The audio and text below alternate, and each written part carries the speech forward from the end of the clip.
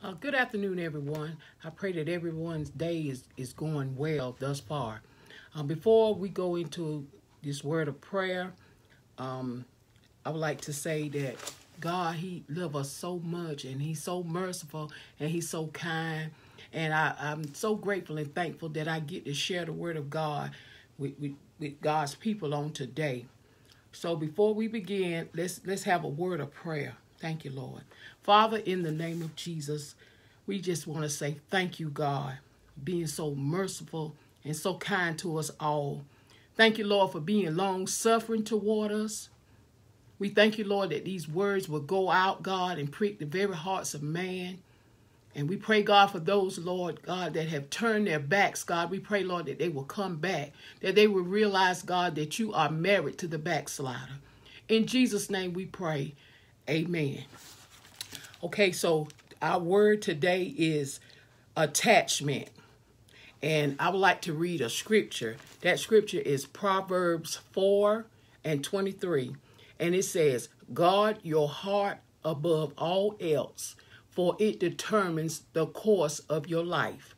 And I have one other scripture, and this scripture is uh, Jeremiah 17 and 19. And it says, The heart is deceitful above all things and desperately wicked.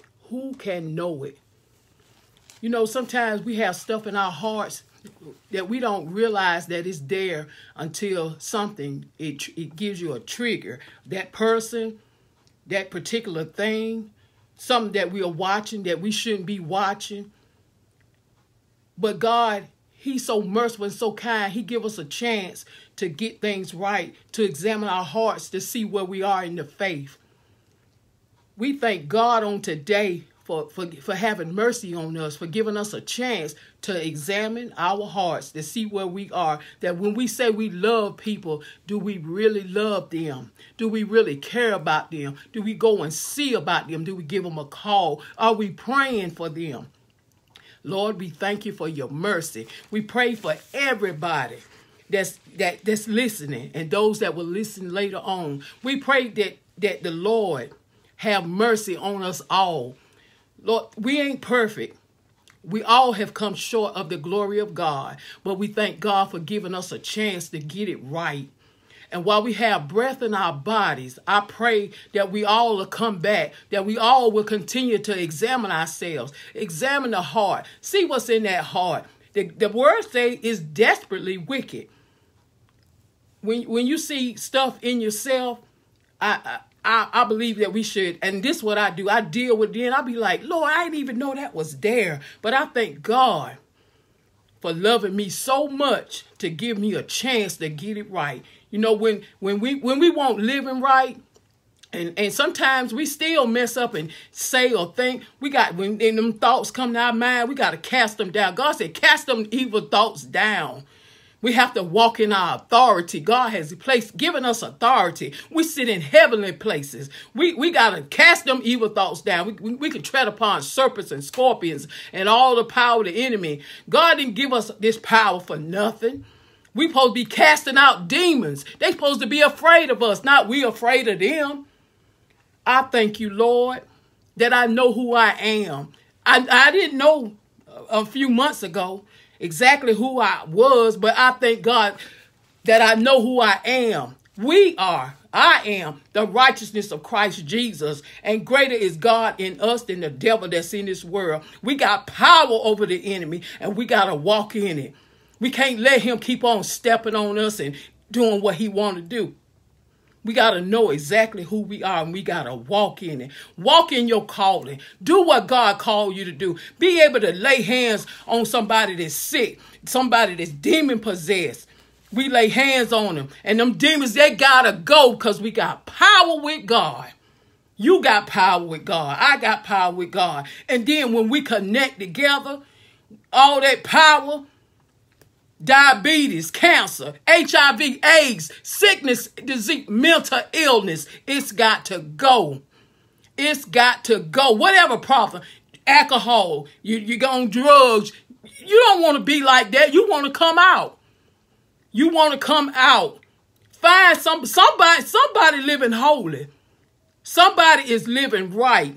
Call somebody. Seek for godly counsel. Don't go get counsel from people that ain't saved. They're giving you stuff off the top of their minds. No, you need counsel from the Lord. Seek the Lord while he may be found. Call on him while he's near. Call on him while you got a chance. Call on him. He, he, he listening. Don't just sit back and, and walk in pride. Pride, pride is not a good thing. It's not a good thing to have pride. While you got a chance, while you still got breath in your body, call on the Lord. Call on him. He waiting on you. Just call on him. And don't be ashamed. Don't be ashamed of God. Why would you, would you be ashamed of somebody that give you life, somebody that give you breath?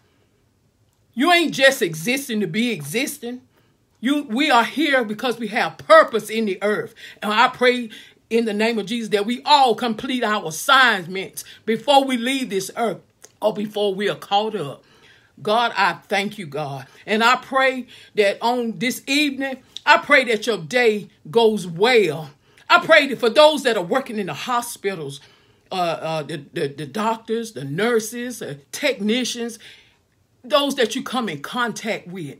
If you say you sanctified, you filled with God's spirit, say prayer over those people that's about to go off into eternity. Some going off and, they don't even know Jesus in the pardon of their sins. While you in there, the janitors, who those that clean up the hospitals, Why you in there, you say a prayer. Pray for them people. Them people about to go off into eternity. A lot of them going to hell because they don't know. And then we got to live a life before people because you know something people are watching us. They watch they watch every little thing we do. Now we ain't perfect. Y'all we are we are not perfect. But i will say this. We got to live holy because people need help. People are dying. They need help. They about to go off into eternity. Eternity, what is eternity? It's forever. It don't never end. And if you go to hell, it's forever. Ain't no exit doors. You don't never get out. Never. You will never get out. You don't, it's saying you don't even get no rest in hell. You don't go to sleep. And you'll never be in the presence of God. His presence will never be there. So I say to you on today, follow after God. Go after him with, with your with, with all that you have within you. Run for your life. The devil ain't playing. He trying to take as many of us as he possibly can. And for anybody that somebody told you hell won't real, they lied to you. Hell is a real place. And we don't want to go there. We want to please God. We want to hear him say, well done, thou good and faithful servant. Come on into the house of the Lord. I love to hear that. I love to, to hear that spoken and, and I just, I love to hear that because that's a good thing right there. That's what we want to hear. We want to hear the Lord say, well done, thou good and faithful servant. So if it be the Lord's will, I thank and I praise God. I'll, I'll, be back. But before I leave, let, let, me let me help somebody get to the Lord that don't know the Lord in the pardon of their sins. Now, if you don't know Jesus, if you have never given your life to the Lord, and you want to get saved on today, all you got to do is ask God to forgive you of your sins. Eh, confess with your mouth that Jesus Christ is Lord. Lord, I believe that you are the Son of God, the true and living God. Now, if you believe that that, that Jesus died for your sins and that he rose again, you are saved. And you can find that in Romans 10, 9 and 10. Now, now, now, what you do now? If you mess up, if, if you do something that ain't right, just repent. But don't, don't, don't be practicing sin. Now, now, don't practice sin. But God will help you to come out of sin if that's what you want. He'll help you. So, get in your word. Read, read your Bible. And before you read, ask God, Lord, give me wisdom. Lord, give me some understanding. Lord, help me to understand what I'm reading. And He will help you. Until we meet again, if it be the Lord's will, I see you in the next video. I love y'all. Goodbye.